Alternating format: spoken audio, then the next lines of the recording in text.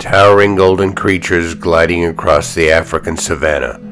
Long, graceful necks, large dark eyes, crowned with long, beautiful eyelashes. They are synonymous with the African continent. They are giraffe. Walking toward the giraffe paddock at the zoo, we see immediately these towering, majestic creatures with their muscled, curved necks. As you watch them, you can see how beautifully they move. They are the tallest animals on the planet. They range from 16 to 20 feet tall. Males weigh about 3,500 pounds and females weigh about 1,800 pounds. You can see they are big and heavy animals. Their necks are about six and a half feet long and they live about 25 years in the wild.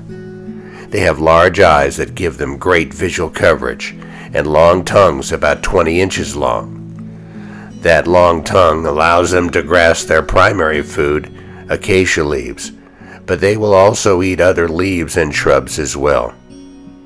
They have two unusual looking extensions on the top of their heads. Those are like horns, but they are covered by skin and fur.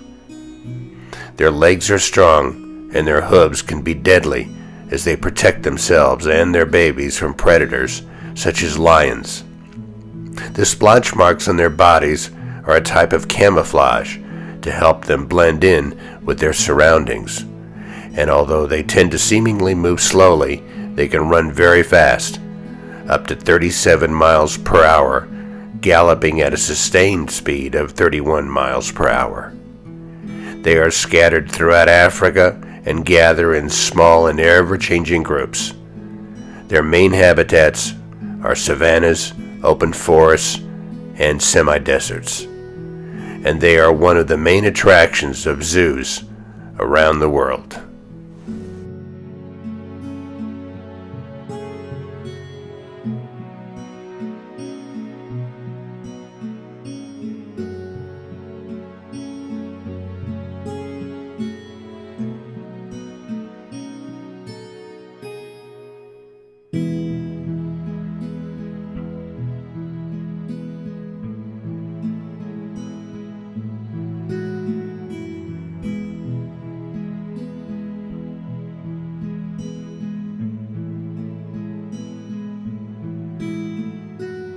For more information on the exciting Visit the Zoo 12 book series, go to www.visit-the-zoo.com.